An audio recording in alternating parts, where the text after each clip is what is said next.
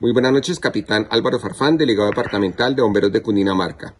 En la noche de hoy se presentó un grave accidente en la vía Bogotá-La Mesa, exactamente en el PR 93 más 200 metros, el cual involucra un vehículo tractocamión y dos vehículos particulares. Al momento tenemos una víctima fatal, cinco personas lesionados. Hace la atención de la emergencia personal de la concesión vial, policía de carreteras, bomberos de la zona y centro regulador de urgencias del departamento de Cundinamarca. Los heridos son atendidos en el sitio y remitidos a los diferentes centros asistenciales tanto del municipio de San Antonio de Tequendama y de Mosquera.